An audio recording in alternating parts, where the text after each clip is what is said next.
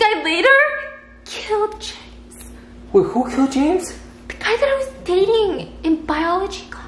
Turns out his siblings were dating each other. Bro, that is some twisty shit. Yeah.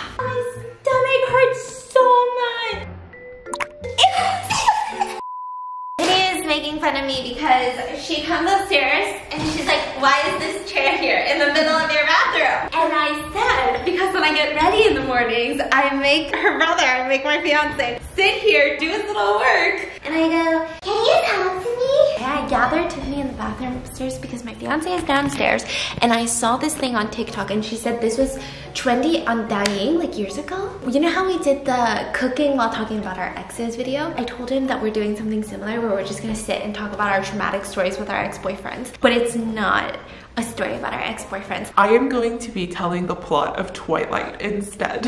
Okay, we're gonna go downstairs and see if my fiance is even gonna notice first of all, but how is he gonna react? Because I don't think he's seen Twilight. If he has, I don't think he's gonna remember. So let's test this out. I really can't tell because it's my dog, but is this the cutest dog alive or the most awkward dog alive? Today's vlog is gonna be really impromptu because I have the most insane story about an ex-boyfriend. I just found out that he killed someone. Oh my god, you're gonna freaking flip. I literally I think found you out. sound a little too happy. No, no, no. Okay, sorry. Why are you- I'm not I happy. think you sound a I little too smile when I'm nervous, and it's the most insane story. And I dated this guy for like two weeks. I completely forgot about him, and then I got a DM from someone that I used to go to school with who told me that he was he killed somebody. So before we get into that, I have been thinking a lot about relationships. I've been thinking a lot about getting married since it's literally in T minus one month now that I'm getting married. And you know what? This is what I've discovered. A partner is very much like a phone case. I'm just gonna put it out there. You know, you want them to be supportive. You want your partner to Bounce back. from hardships with you. You want them to be protected, but you also want them to be easy on the eyes. You want them to be attractive, something cute, because you gotta look at it every single day. It's gotta be in your selfies with you. It's gonna be with you all the time in your purse, just pissing you off. Just being with you, okay? You probably don't want to drop them from 21.3 feet in the air. That's like an ER visit. But maybe that's why Casetify is far superior than, I don't know, a significant other. With Casetify's bounce case, you can have the most protective case ever, and it's got these expanded corners that allows your phone to simply bounce when you drop it, meaning that your phone is gonna bounce back from a low point. Is that literally not what we're all looking for in a partner? It's drop test approved up to 21.3 feet in the air with the new EcoShock impact absorption tech. My fiance has his own EcoShock technology. This man doesn't get shocked at anything I say or do anymore. And just like Case to Casetify phone cases, my fiance is the only other person that I would trust with my phone. And the cases are so pretty. I'm calling you pretty. You're welcome, okay? And back when we were so conditioned to believe that phone cases are supposed to be protective and ugly, but no. Significant others, phone cases, phone cases come in all beautiful shapes and sizes and designs and they're literally all so aesthetic. Casetify has over 2000 prints to choose from. You can even customize your phone case with your initials. To really let everyone know this right here is mine forever. Casetify also works with 300 artists from around the world to develop culturally diverse designs. They work with korean artists as well as chinese artists which casetify even makes really good gifts because they're so unique and well designed and if you guys want things to make your life even easier you can grab a phone strap or phone charms. Phone straps are great when you're traveling to other busier cities. Did you know I saw a TikTok that was like, here what the hot girls in Paris are doing right now. And they're all wearing phone straps. And uh, someone that lives in Paris duetted it and goes, um, no, we're all wearing phone straps because it's tourist season and pickpocketing is insane. Yes. But uh, it is a hot girl thing. It's really cute. Make sure to check out casetify.com slash mango in the description for 15% off your new favorite phone case. And they have phone straps, cute charms. That's casetify.com slash this one's not mango, but casetify.com slash mango for 15% off your new favorite phone case and accessories. Can I tell you the craziest story of my life? How do I get up with these cutie patootie? This is the most insane story ever, honey. If you could just sit, please. I mean, I've been thinking about this all morning and I wanted to vlog it because really crazy things happen in life these days. So I never even told you guys about the fact that I dated this person because I think I dated him for like two weeks. But he recently unalived someone. So basically, when I was 17, there was this guy in high school. He was weird. I don't even know if I could call him my ex because we only dated for like two weeks, but he was my lab partner in biology class. And I've always heard about this guy throughout my whole high school experience. And he's just been known as like a loner. The whole family's kind of weird, right? So the dad is a doctor and every single member of the family, they literally look, I don't know how their genetics are this strong, but they look so similar. The kid is kind of weird, but he's kind of like 매력적인. Like they're kind of has a weird charisma. He's so quiet, but he maintains such eye contact with you that when you're 17, that's like totally new. No one when you're 17 maintains eye contact, but he would just stare me down during lab class and I was like, oh my god, I think he likes me. He kept staring at me and I was like, oh my god. And you're into that? Remember, it was the weirdest thing ever because it was raining that You're day. into that, huh? Okay, listen how You're cringe into I was. No, I wasn't into it. It was just new to me. And I remember the first conversation we had because I was so cringe. He literally goes, because it was raining that day, he goes, Do you like the rain? and I was like, I don't like the rain or anything wet and cold. I don't know why I said that. And he's looking at me like, what's wrong with you? So anyway, he asked for my number. We start dating. Whoa, whoa, whoa. It was like not really dating, but it was like dating. I went to his house for my birthday party. Like he was throwing me a birthday party. I went to his house. All of his siblings were there and they were giving me like presents, which was so nice. I feel like most of his siblings didn't like me. Only one of the siblings really liked me. She was so nice, okay? And she got me a present for my birthday. And I was opening the present and I literally cut my finger on the wrapping paper. And one of the brothers flips it because he doesn't like blood. And he starts like like hyperventilating or something. Uh-huh. The guy that I'm seeing, he starts getting like, whoa, this is weird. Like, I need to make sure everyone is okay. And he mm-hmm. kind of pushes me back, and I end up crashing into the like this console table and there was a vase of flowers in there and I literally crashed into it and the vase broke and it cut my arm. Oh my god, I don't have the scar anymore. So then at one point, I have a family friend that I, like a really close high school friend of mine, and he just kept warning me. Ugh, the signs were there. He just kept warning me to not date this guy. My friend, he's kind of like one of the alpha dog type of boys. You know what I'm talking about? Like, he's the type of guy that likes to hang out with the bros on Saturday and they like to run through the woods shirtless. It's I didn't know you have friends like that. yeah. So, Okay, so where is this going? yeah, anyway, I date that guy for like two weeks and then he just fucking disappears. He stops coming to our school, his siblings stop coming to our school, and his parents, they literally move out of town. Out of nowhere. They don't say bye. He ghosted me. He literally moved out of town, ghosted me after like two weeks of dating. It was so weird. I think I was like really depressed. I was really in the feels. But then like now that I think about it in hindsight, there would be moments where the guy was kind of creepy. Like now that I had some distance, I realized he did some weird things. Like he told me he likes to watch me sleep. What? Yeah. What does that mean? So he came over and He came over. I had to keep the door open because my mom told me to, but he came over and I remember I fell asleep and I woke up and he was just watching me sleep. What? And he says, He likes watching me sleep. so anyways, he, he disappeared. I got close again with my guy friend. Like, So where is this Oh, going? okay. I'm so confused. okay, Come so on. then my lab partner, he comes back. Okay. And he literally tells me Uh-huh. he came back Uh-huh. because he couldn't stay away from me. I'm not even f***ing you right now. He comes back and he he takes me to this bar and he says like I'm so different to him. He sounds unhinged. Is this guy unhinged? So we started dating again and I ended up playing baseball with his family in the woods. Like there was this huge thunderstorm, but it wasn't raining. And his family was like, we're gonna go play baseball right now in the woods. Baseball? Yeah, baseball. so we go deep into the forest and we're playing baseball on like this open field, but there's no nobody is there. So we're playing baseball. They're so fast. They like all of them are like track stars. And I'm like trying to keep up. And then all of a sudden these three people show up. Uh-huh. Three people I've never seen before and we're in the middle of the woods. In the middle of a thunderstorm. Okay. I know, it was like a crazy two weeks. Like a fight breaks out. Fist fight? No, they were like all up in each other's faces. And they were like throwing each other onto the ground, but they weren't necessarily fist fighting yet. But it looked like they were gonna fist fight. One of them even came up to me and sniffed my hair. Bro, these people were so creepy. One of the guys, his name was James. He was like, and I was like, oh my god, this is so weird. So then the guy that I was dating was like, get off of her. And it was like a whole fight. But here's what I found out. This guy later killed James. Wait, who killed James? The guy that I was dating in biology class. But why you say it like that? What do you mean? Why are you laughing about this? I don't get it. Because I get really nervous when I talk about uncomfortable things. Apparently, that guy was like threatening the guy that I was dating, like a lot of Uh-huh. his loved ones, and he killed him and set him on fire, decapitated him, and threw his head into. Wait, why are you laughing? So you're really nervous. So this is like a true crime case. No, but he's still free. Who's free? Go, go! Bring a baseball thing. Yeah, bring a baseball bat. What is going on? I don't know.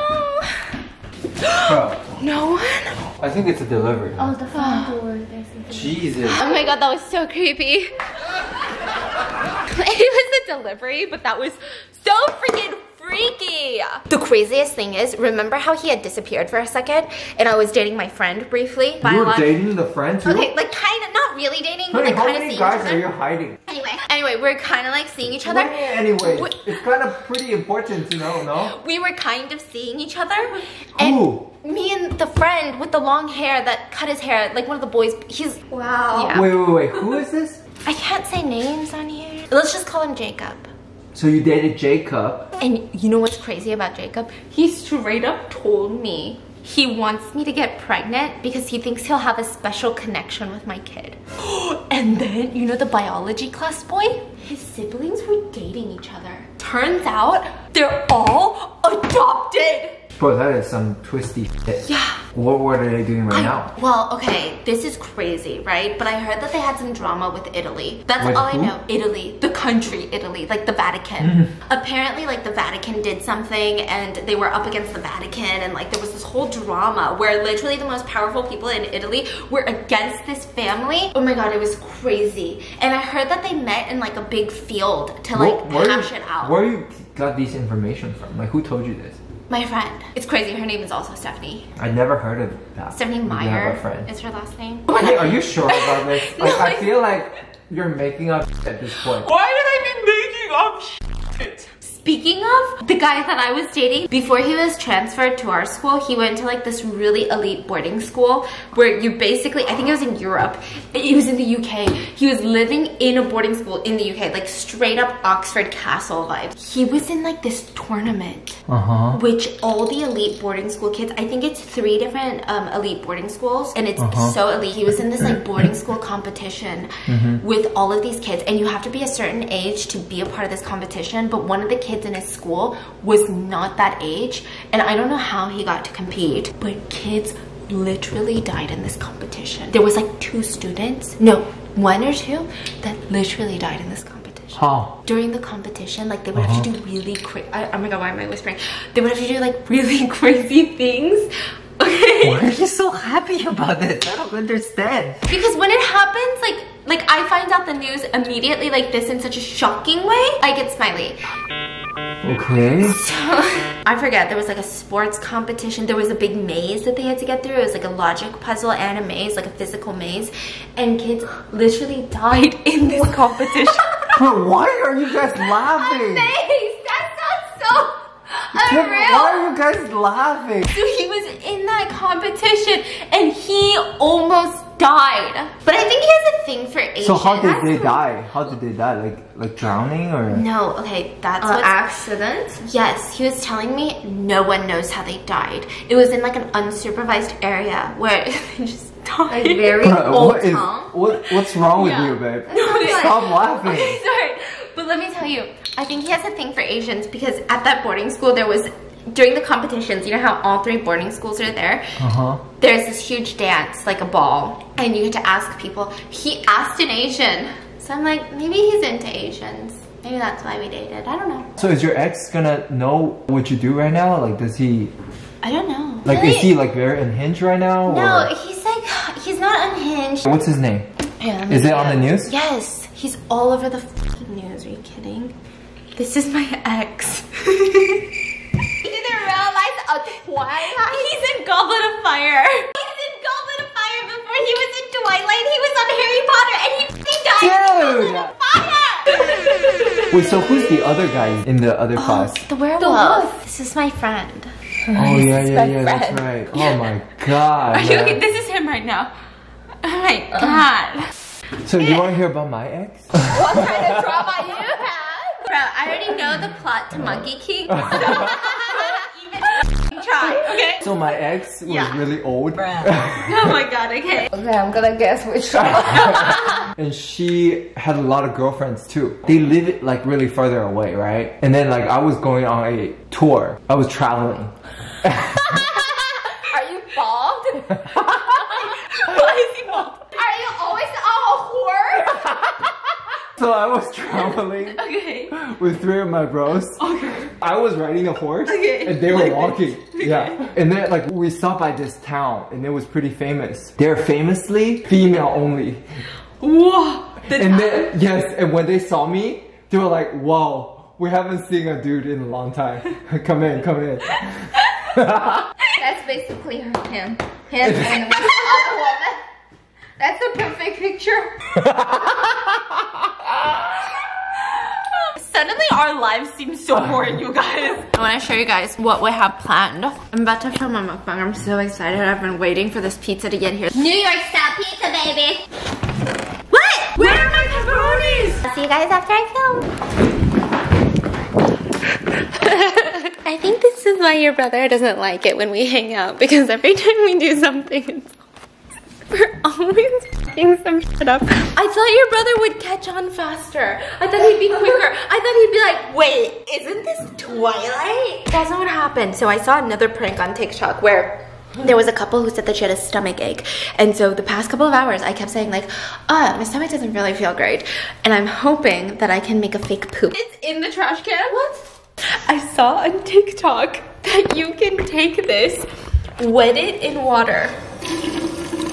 Oh, it's getting weird. Ew. Oh, it's getting really weird. And you form it to look like poo. Uh, I think I need more mushy. More mushy? Do you have really mushy poop? I'm just kidding. I'm gonna go downstairs and say, honey, my stomach hurts so much. And then I'm gonna grab my stomach, squat down. Wait, how do I keep that in my screen? Wait, how do I do that? wow, that's beautiful. Okay. I don't know. it's beautiful. It's my poo. Wait, put. Wait, that looks a paper towel. Do you think so? It doesn't look like poo.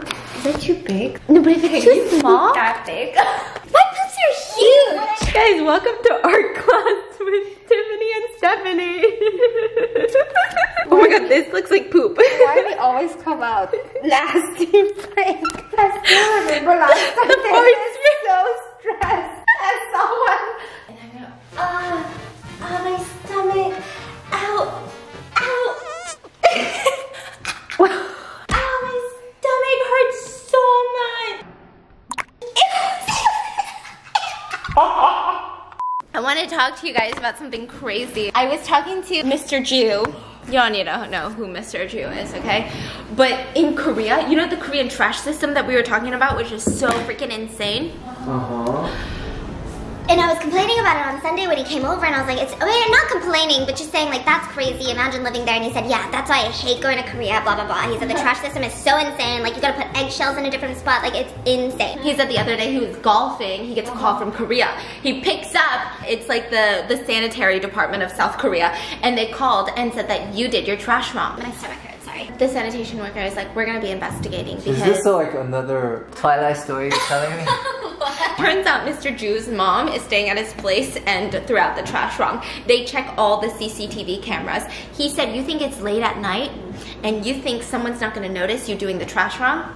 CCTV camera. Boom, you're cut. You gotta pay a fine. He does a lot of business in China, which we're trying to go to China at the end of the year. And he said in Shanghai, he said they're crazier. I think Korea divides it into like five categories. Shanghai might divide it into like 12 or something. Shut Yes, yeah, for real. Last time I went back, and I can't, I don't even know, I was eating crab, crab, and I don't even know where to. Are you okay, honey? And I was Um, eating crab. Hello, guys. Are you okay? What's going on? Are you shaking? What's going on? Wait, are you okay? Are you okay? Or anything? Wait, what the heck? What are you saying right now? You did not poop. There's no way you poop. No fucking way. Here, show it to the vlog. I pooped. Here, you gotta help her. Why you give me this? I pooped go away. You pooped in your pants? It came out of my Came out of what? No! Go away! Go away! I'm so embarrassed. Go away! Why are you laughing? Your poop went out of your underwear, went through your dress, landed on the ground. No, when I was getting up, it went through my underwear. Your poop came out of your underwear. You Okay, then pick it up if you don't believe me. Stop. Bruh. pooped. Let me see the poop. Ah!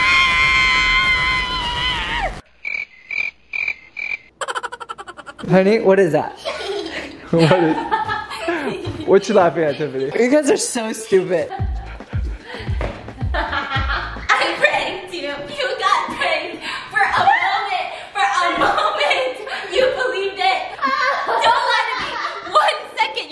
It. Nope. Not even like two seconds. Oh my god, that does kind of look like poop. Because What? it is poop. Wow. My name is Iron Woman, and I am suiting up for work. Reporting for duty. Yes, I can hear you. Wow, the voice is so cool. Roger that. Oh, that's my voice. Thank you. I'm just kidding. I'm just kidding. I know what you mean. Am I really gonna go outside like this? Okay. It's cool. You think so? Everyone in my family sent me links to this when it came out and was like, you need to get this. Because every single year, for some reason, my allergies keep getting worse and worse and worse to the point where when I step outside, I cannot go outside the day that I film a podcast or the day that I film a BAM or the day that I film a mukbang, which is almost every day. I can't go outside. I can't even go to the mailbox. So sometimes he takes the dogs out and he goes to the mailbox, he hangs out in the backyard, and this is me. This is me. So Stephanie has intense dust mite allergy. If she goes outside, she's allergic to pollens and trees and some freaking grass and stuff. So she can't go outside. She can get Stay close inside. to too much fabrics. Yeah, like I think It's natural selection. So just to give you guys an idea, okay? All of our couches and all of our beds, everything gets steamed with like this UV dust mite killing wand. Not a wand, it's a vacuum and it's UV light. And then the pod room, everything in that room is basically sterile at this point. Even the freaking pod mic, the cover of it, we stick it into a UV, like a chamber, where it UV sanitizes it. Oh yeah, my allergies are so bad, we actually have EpiPens at home. That's how bad it is. and what is this? This is the Dyson Zone. What everyone thought was an April Fool's joke, including me, myself, and I, okay? Then we found out that these were released in China, and then we were like, wait a damn minute. Tiffany was like, everyone's wearing this in China, you need to get it. This is before we went to Korea, and I was like, mm, I think I'll be fine in Korea. Do you guys remember the Korea vlogs? Tiffany, Korea was so insane. This is how I woke up in the morning. Hey everyone, middle of the day. Hey everyone, end of night. Hey everyone. I've never experienced that before in my life. So this right here are headphones. I didn't buy it for the headphones. I bought it for this attachment. Do you guys see how big this is? It's because there are air filters in here. And once I snap this on and click this button, is that a boundary? You wanna know my brilliant way of testing it out? I'm gonna test it by making Chinese, Chinese stinky stinky noodles. noodles? You know how I really wanted to test it? How? I was gonna ask you to poop in the bathroom and then I would walk into the bathroom, but I feel like that might be like a relationship killer. Cause we don't poop around But each my other. poop don't stink though. Be fucking for real. In New York, he uses the restroom. We're so sensitive. he goes, Can you play something? What? He doesn't want me to after Wait, wait, wait. When, when Paul poops, nobody plays anything. You just No. keep keep the room super silent. I tell Paul to sit in front of me. What? You're like You're serious?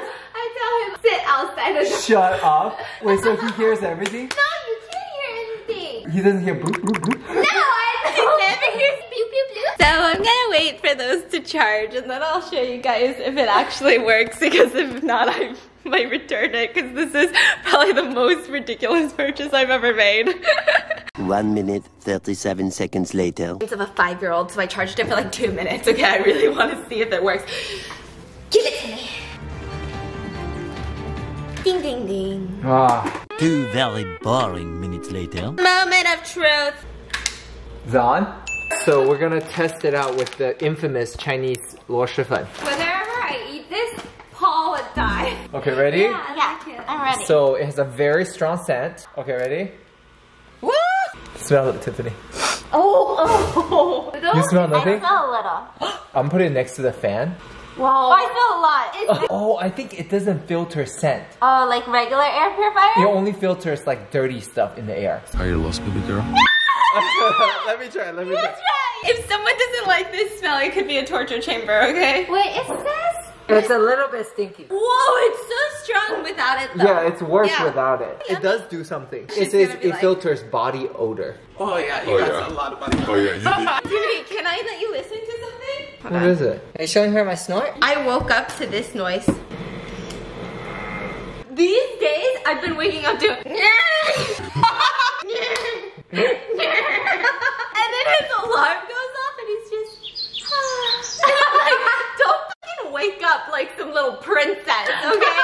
the reason I record is because once in a while I'll be like, oh my god, you snored, and he goes. No, I don't. Honey, so before I go, I just have one last story to tell you. I had a friend who both of his parents were murdered, and he's like the chosen one. Shut up. And he has this really weird scar on his forehead. I'm just saying, I had a lot of friends, guys. A lot of boyfriends, had a lot of friends. Please let me know in the comments which friend you've also had. But I hope you guys enjoyed today's vlog. Make sure you check out Casetify, linked in the description. I'll see you guys tomorrow. Ah.